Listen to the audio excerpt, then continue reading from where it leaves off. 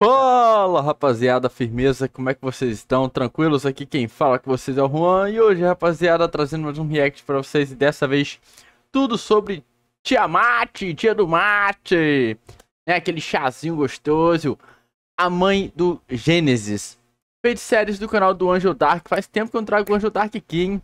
Queridinho aqui do canal também, e lembrando, o link do vídeo original vai estar na descrição então vão lá, deixem um like, se inscrevam no canal do Angel Dark. Eita preula. Ele merece pelo excelente conteúdo que ele traz aí pra gente. Fechou, rapaziada? Bom, eu já sou inscrito, o sininho já está ativado. Vou deixar meu like pra dar aquela fortalecida. Qualidade full como sempre. E antes de prosseguir, deixa eu mandar um salve pra aquela rapaziada nervosa, né? Um salve pro Caos River, pro Figurante, pro Rafael Silveira, pro Catezin e pro Nalfume Watani, membros alfa aqui do canal. Muito obrigado, meus queridos. Tamo junto. E agora sim, é, eu andei percebendo que eu faço coração tudo errado. Não sei por que esse coração que os casalzinhos faz assim, não, vai. Eu não sei, não. Enfim. Mas vamos lá pro vídeo, né? Vamos ver a tia do mate aí, como é que ela funciona, né? 3, 2, 1 e. Play. Enquanto isso, beber minha breja.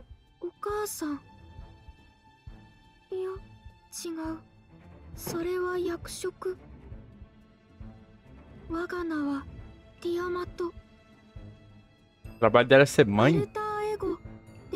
きた。驚いたか？人類。お前たちが滅びると私の負けが無意味になる。よって力を貸してやる。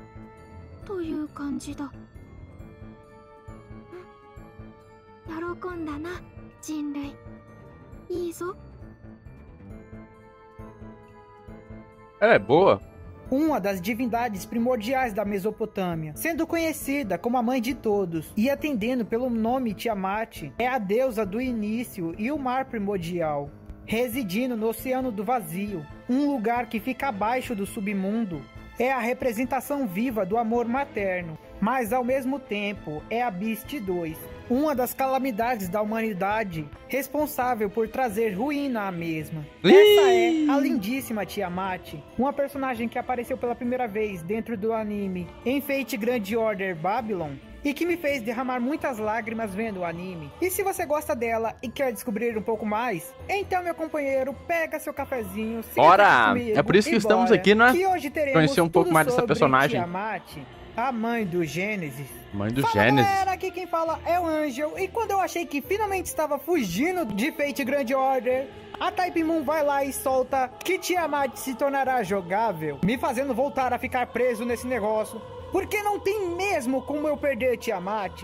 Meu Deus, cara, olha essas coxas, digo, quer dizer, olha essa existência fofa. Anotem o que eu digo, de um jeito ou de outro, Tiamat será minha. Mas sem mais delongas, bora pro vídeo. Tiamat, ou também conhecida como a deusa do início, Namu, ou mãe do Gênesis, é uma beast feminina com uma altura que varia de 1,60 para mais de 74 milhões de quilômetros quadrados. A desgrama, velho. pela minha cabeça quando eu penso nisso? Imagino hum... tão tamanho dessas coxas. Epa. Eita! Seu peso é desconhecido. A região onde se origina sua lenda é a Mesopotâmia. E como membros de sua família temos Abzu, que é seu marido. Hum, casada. Epa. Opa!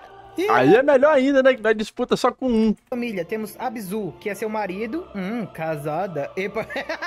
e um monte de filhos e descendentes. Basicamente todo mundo, principalmente os deuses mesopotâmicos. A aparência. Antes de falar sobre sua aparência, é necessário que você entenda que Tiamat possui mais de uma forma devido à sua capacidade de se automodificar. Ela é capaz de remodelar ah, livremente seu sangue Esse CGzão aí, velho. dá a ela essa possibilidade de atingir mais de uma forma. Em sua versão de alter ego, Tiamat aparece como uma jovem de cabelos azuis, com olhos rosa avermelhados e grandes chifres, que a mesma descreve como muito pesados. Ela veste uma pequena blusa com mangas compridas que cobrem suas mãos. Ela tem uma pele branca e um conjunto de meias longas. Já em sua forma de Femme Fatale, ela aparece como uma mulher de cabelo azul claro, com amarras nas pernas e nos braços. Além de que seus chifres ficam maiores ainda. Seus olhos ficam muito mais vermelhos e agora refletem senhora, o mar interior do planeta. Em sua forma desencadeada, ela se torna ainda mais monstruosa, ficando cada vez mais perto de sua forma bestial. Ela é como a mistura de sua forma anterior com a forma dragão.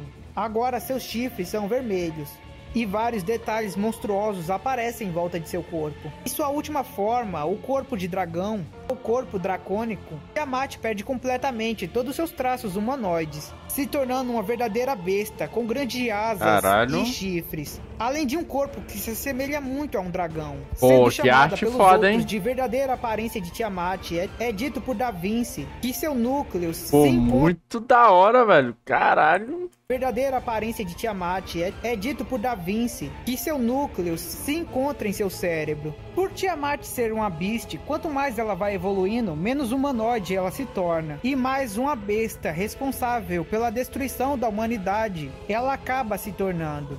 E ao mesmo tempo que mais de sua humanidade vai se perdendo com o avançar de suas formas, mais de sua força vai aumentando também. Em suas últimas formas, ela também libera a lama negra do mar da vida. Uma Lama lama, negra. composta de números imaginários que não possui peso e que pode crescer infinitamente. Essa lama tem vários Ah, eu tô ligado. Eu acho que é aquela mesma lama do Fate Lady, não é? Que desce do cubo lá ou não? Vocês podem confirmar pra mim nos, aí no- nos comentários aí. Eu acho que é aquilo lá. efeitos, mas isso será explicado mais tarde. Será que eu sou errado por mesmo saber que ela vai se tornar isso, ainda considerar ela extremamente gasosa? Não me julguem. Personalidade: Tiamat é simplesmente o puro amor materno. Ela deu a luz a tudo e a todos. Ela vê toda a humanidade como seus filhos.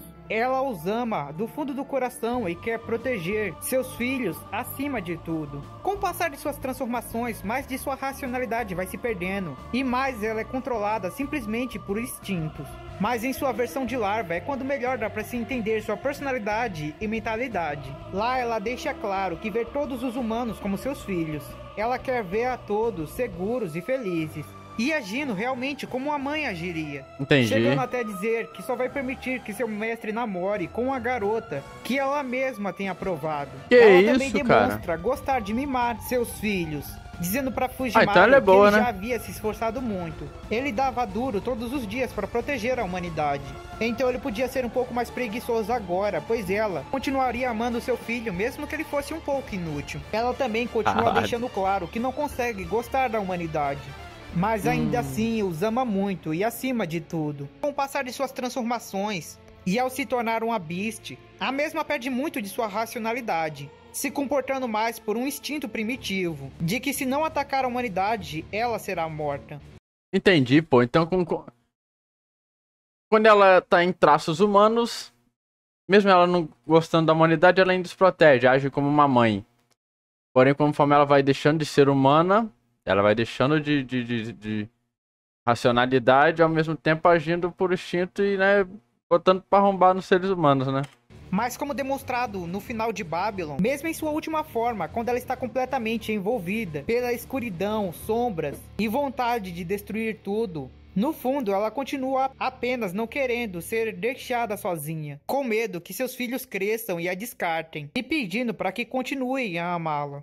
História. Na Suméria, todos os deuses nasceram após Tiamat e Abzu darem origem a eles, fazendo com que eles se tornassem a mãe e o pai primordial. Mas posteriormente, os deuses que eram seus filhos agitaram a bandeira da revolução, mostrando que já haviam crescido e não precisavam mais deles. Lutaram contra o pai primordial, Abzu, e adquiriram a supremacia sobre o mundo. Mas mesmo assim, Tiamat gentilmente aprovou suas decisões e continuou a apoiar seus filhos, mostrando que seu amor por eles era maior do que seu amor por Abzu. Mas os deuses não pararam por aí. Logo em seguida, eles apontaram suas lâminas até Tiamat, mostrando que não precisavam mais dela e querendo a descartar. Lembrei de Tiamat, Kamijo por sua Toma, vez, Em sua tristeza, dor e desordem, deu à luz a 11 bestas mágicas, seus novos filhos, que confrontaram diretamente os deuses. Mas no final de um conflito gigantesco entre os deuses e as 11 bestas, as bestas foram derrotadas e completamente despedaçadas,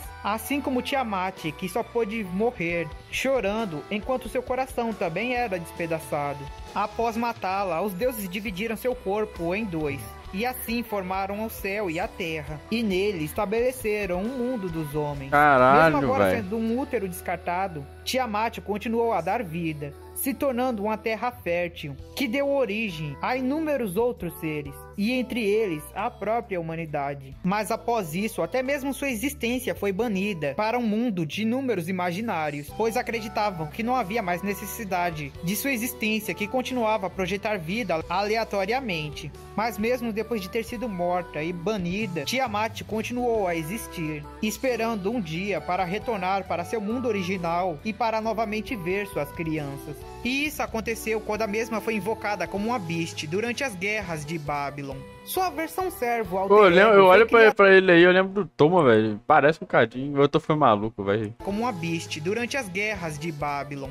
Sua versão servo alter ego foi criada pela própria Tiamat, com o propósito de proteger a humanidade da destruição. Como isso aconteceu após a singularidade de Babylon, ela tem memórias claras de ter sido derrotada pela humanidade, e por isso ela continua de mau humor. Mas ainda assim, seu carinho e o amor pela humanidade é muito maior, o que faz com que ela continue querendo proteger a humanidade. Habilidades. Em sua forma larva, Tiamat afirma que seus parâmetros estão bem limitados, apenas em torno de um servo normal, o que deixa Mesh bastante impressionada com os padrões que ela considera normal. Seu fantasma nobre é o Namu Duraki, um fantasma Anjo com boas músicas como sempre, né? Físico, onde ela retorna temporariamente ao mar da vida e se manifesta em sua forma de dragão, pulverizando seus inimigos com um mana burst extremamente gigantesco. Boa.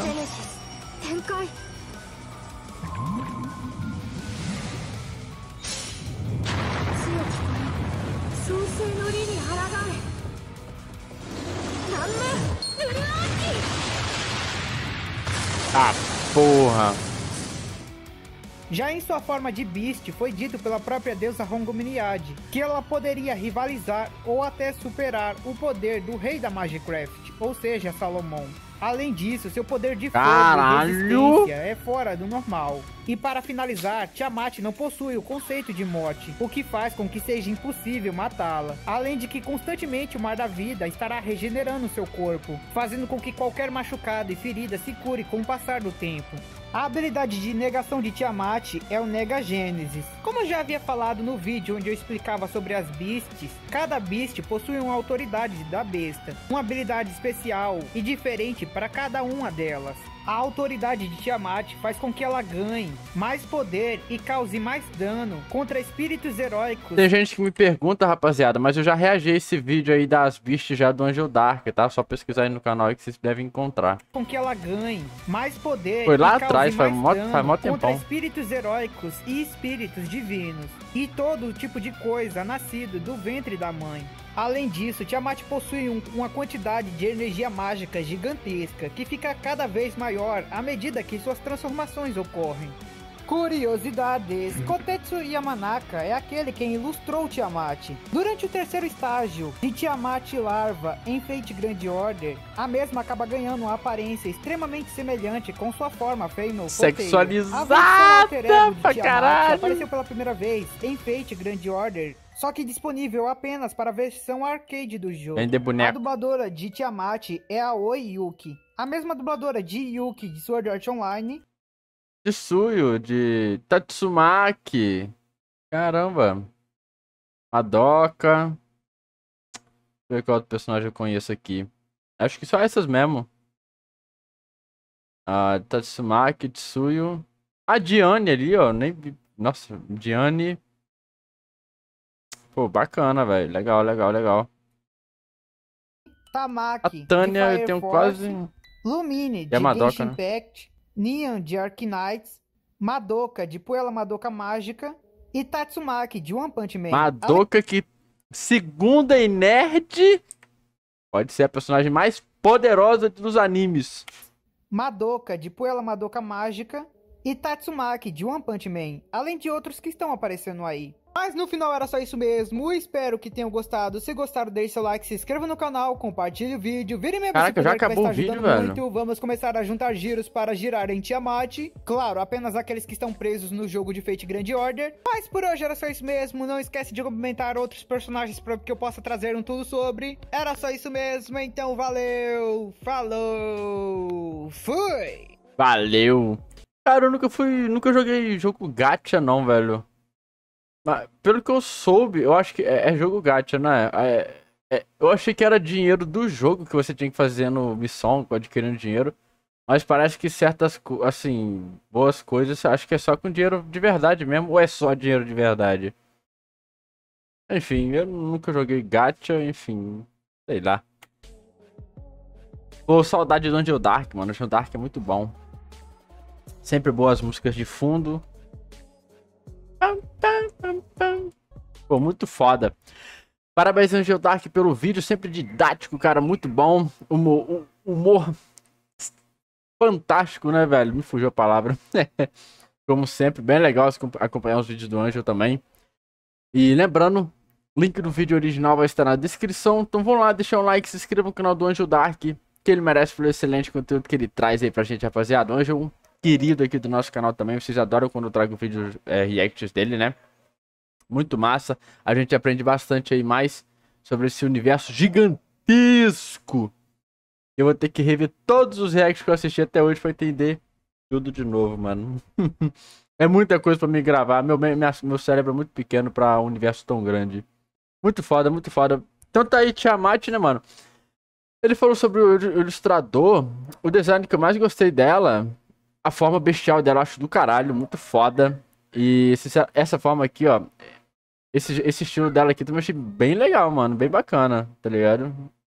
Pô, esses, esses X assim, nos olhos ficou bem legal, mano. Ela tem um design bem bacana, esse design aqui, tá ligado? É o que eu mais curti, é o que eu mais gosto. E a forma bestial dela também eu acho muito legal, cara. Cadê a forma bestial? É essa aqui, não é? Ficou bem louco.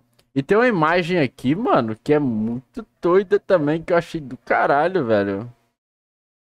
Deixa eu ver se eu acho aqui. Essa aqui, mano. Olha, olha isso aqui, mano. Pô, botaria isso aqui de papel de parede, meu irmão. Pô, do caralho, meu irmão.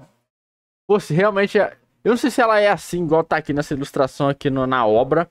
Ou mas se ela aparece assim em algum momento, eu acho que é, é muito louco, cara. Muito doido. Pô, uma personagem bem bacana, bem legal. Tiamat, mãe do Gênesis, né, velho? Mãe da humanidade aí. Muito massa, mãe da vida. Bom, rapaziada, acho que é isso, né? Eu vou ficando por aqui. Espero que vocês tenham curtido. Comentem o que vocês acharam aí. Deem a opinião de vocês aí. Acho muito legal esse debate que gera geralmente enfeite aí, né, velho? Entre vocês. Pô, tem uns debates aí que geram um podcast muito doido. Eu só fico lendo, velho. Pô, fica aquele monte de texto, assim, um debatendo com o outro lá. Quase saindo na pancada. Eu acho muito da hora, velho. sem xingamento, sem ofender mãe, tá ligado? Nem nada do tipo. Mas de resto, pode largar o aço à vontade aí, tá ligado? Eu adoro ficar lendo, mano. Enfim. Dito isso, né? Não pode faltar, né? Não, vou falar, não. Eu não vou falar que o Gilgamesh só ela, não, porque senão, né, vai. Enfim. Bom, um abração, tamo junto. É nóis, eu fui.